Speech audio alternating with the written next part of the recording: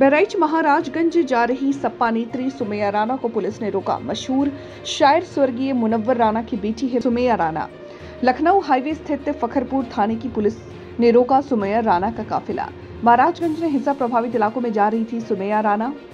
Police ने सूचना का हवाला देते हुए सुमैया राणा को लौटाया। सुमैया राणा ने जारी किया वीडियो रोक टोक के दौरान बनाया था वीडियो। पुलिस द्वारा कार को घेर कर रोकने के बाद सुमैया राणा ने पुलिस पर कसा तंज। इतनी सक्रियता अगर उस दिन दिखाई होती तो ना होती हिंसा।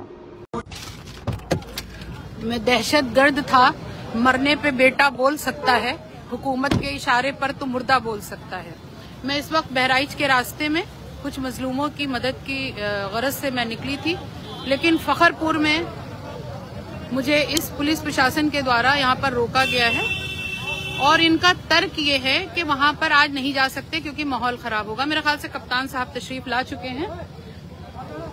कप्तान साहब तशरीफ़ ला चुके हैं। मेरी उनसे बात होनी है। और ये लीजिए। कप्तान